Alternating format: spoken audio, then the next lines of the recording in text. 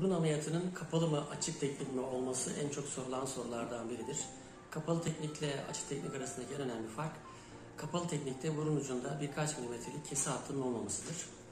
Ee, Birçok vaka kapalı teknikle yapılabilir ancak eğer daha önce bir ameliyat olmuş düzeltme ameliyatıysa, e, travmatik bir burun e, vakasıysa, deformitesi çok büyükse bu tarz vakalarda açık teknik tercih edilmelidir. Onun dışında birçok vaka kapalı teknikle e, yapılabilir.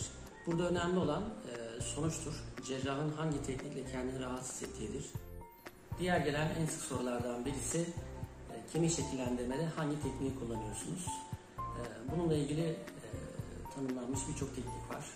E, Tur motorları var, e, mikro testereler, el testeresi, piezo cihazı, osteotomlar. Burada önemli olan cerrahın hangi teknikle minimal hasar vererek daha kısa sürede istediği sonucu elde edebilmesidir. Lazerle burun ameliyatı yapıyor musunuz?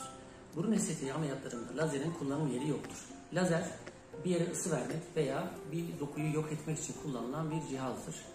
Ee, Burun estetiğinde yeniden şekillendirme olacağı için lazerin e, yeri yoktur. Sadece burun etlerini küçültmede yani burun içinde nefes almayı sağlayan fonksiyonel kısımla alakalı e, zaman zaman lazer kullanmaktayız. Ancak kemik şekillendirme, dokuları kesme gibi e, aşamalarda lazerin kullanımı yoktur.